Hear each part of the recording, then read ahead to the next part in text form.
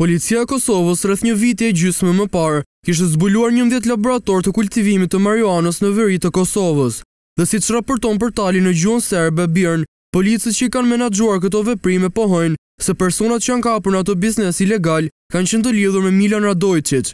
Ndryshe, bëhet fjalë për fshatin Izvor, që gjendet në mes të Leposaviqit dhe Zubin Potokut, pranë kufirit me Serbinë, ku thuhet se është zbuluar ferma më e madhe e marijuanës në veri të Kosovës. Kujtojmë se në këtë laborator muajin e kaluar u gjetën mijëra kërcellë kanabisi.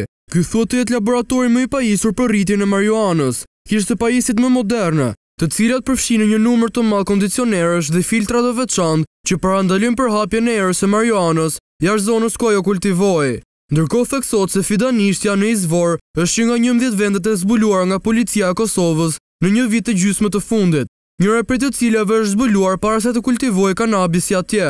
Kjo është bërë e ditur për BIRN nga Veton Elshani, ushtrues detyre i drejtorit të Policisë për Veriun e Kosovës.